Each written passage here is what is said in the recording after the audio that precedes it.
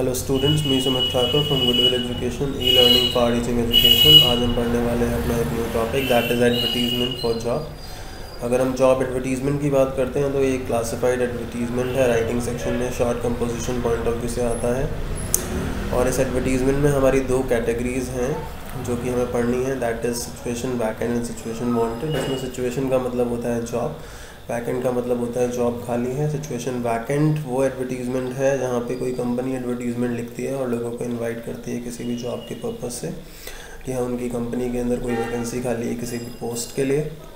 Situation wanted का मतलब होता है कि एक इंडिविजुअल है जिसको जॉब चाहिए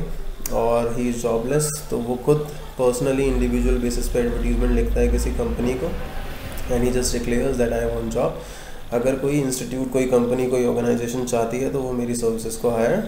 कर सकती है। तो that is the difference between situation vacant and and situation wanted तो हमें याद रखना है जब भी कोई कंपनी एडवर्टीजमेंट लिखेगी जो आपके पर्पज से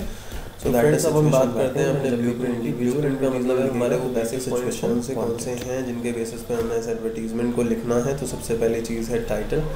टाइटल डिसाइड होगा अकॉर्डिंग टू द क्वेश्चन अगर कोई कंपनी एडवर्टीजमेंट लिख रही है तो that will be situation vacant तो हमारा टाइटल सिचुएशन वैकेंट होगा। अगर इंडिविजुअल एडवर्टीजमेंट लिख रहा है तो that will be situation wanted तो टाइटल हमारा सिचुएशन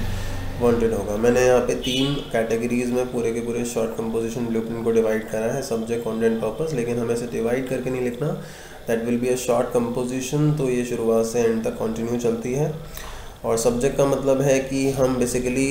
यू नो इस एडवर्टीजमेंट को किस पर्पज़ से लिख रहे हैं इनवाइट कर रहे हैं हम कैंडिडेट्स को। अगर सिचुएशन वांटेड कोई इंडिविजुअल लिखता है तो वो अवेलेबल है अपनी सर्विसेज़ को रेंडर करने के लिए।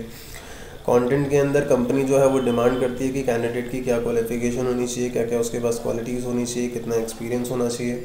और अगर सिचुएशन वांटेड है तो कैंडिडेट अपनी सर्विसेज़ को ऑफ़र करता है कि मेरी कितनी क्वालिफिकेशन है, मेरे पास क्या क्या क्वालिटीज़ और एक्सपीरियंस है। पर्पस में कंपनी बेसिस पे जो कंपनी है, वो इनवाइट करती है कैंडिडेट को जॉब के लिए अप्लाई करने के लिए और जो इंडिविजुअल अगर लिखता है तो वो अपनी सर्विसेज़ को ऑफ़र करता है। इसी केस में ऑर्गेनाइजेशन या फिर वो इंडिविजुअल अपने कॉन्टैक्ट डिटेल्स को देते हैं। तो that is subject content and purpose now let study the basic sample format of advertisement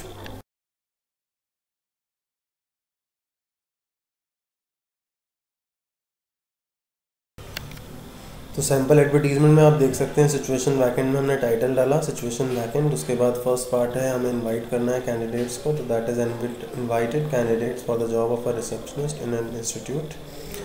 अब डिमांडिंग में कंपनी डिमांड करती है क्वालिफिकेशन को क्वालिटीज़ को और एक्सपीरियंस को तो क्वालिफिकेशन में should be qualified as a graduate from any reputed university अगर हमारे क्वेश्चन में कोई भी इन्फॉर्मेशन या कंटेंट गिवन होगा तो हमें उसे इस फॉर्मेट के अंदर ऐड करना होगा। क्वालिटीज़ में dynamic ambitious diligent straightforward person with good command over English with a pleasing personality ये क्वालिटीज़ ज़्यादातर कॉमन है हमारी सारी सारी जॉब्स के लिए, लेकिन अगर हमारी कोई स्पेसिफिक जॉब आती है तो उसके अकॉर्डिंग हमारे को क्वालिटीज़ को ऐड करना होगा। जैसे कि रिसेप्शनिस्ट के लिए प्लीजिंग पर्सनालिटी ज़रूरी है टीचर के लिए क्वालिफिकेशन जो है वो बी एड या एम एड से ज़रूरी है। एक्सपीरियंस में आ जाएगा मस्ट है experience of working and last में कॉन्टैक्ट डिटेल में अगर कंपनी लिखती है तो इंटरेस्टेड कैंडिडेट्स में apply for a job with complete biodata and two recent passport size photos तो लास्ट में हमने अपनी कॉन्टैक्ट डिटेल्स दे देने हैं, जो भी ऑर्गेनाइजेशन के हैं। So let study situation wanted for the next cause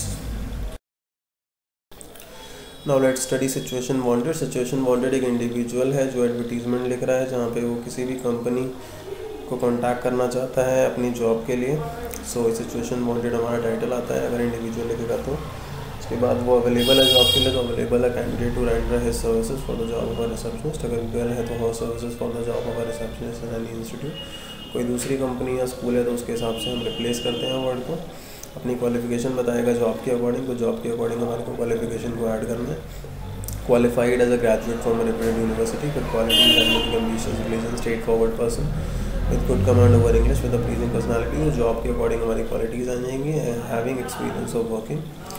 interested institute में कॉन्टैक्ट तो वो ऑर्गेनाइजेशन को कॉन्टैक्ट कर रहा है और यहाँ पे एक इंडिविजुअल का नाम आता है। तो that was overall the topic of advertisement for job by Sumit Thakur